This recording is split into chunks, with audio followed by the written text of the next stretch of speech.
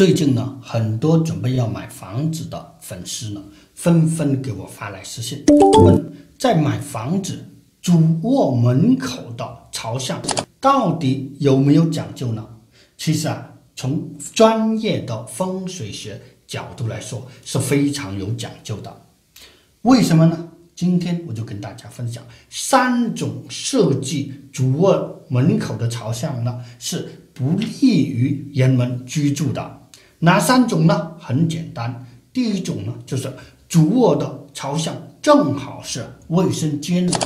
为什么呢？有科学道理吗？还真的有。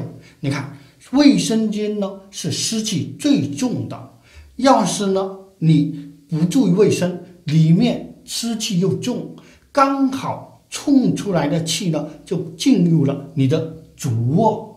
所以叫风水，风水风就是气体的流动，久而久之呢，对健康是有所影响的。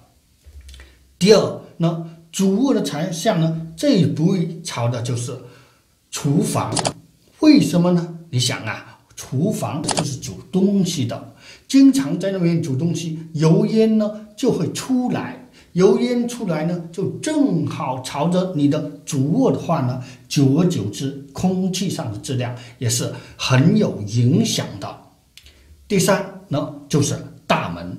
注意了，大门的话呢，有时候开着，外面是人来人往，有说有笑。要是中午，你看刚好在主卧休息，大门又开着，外面笑嘻嘻，吵喳喳。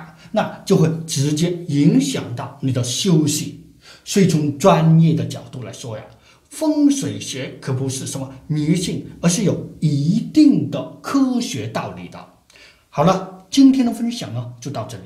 要是大家喜欢我的视频，可别忘了点击关注我哦。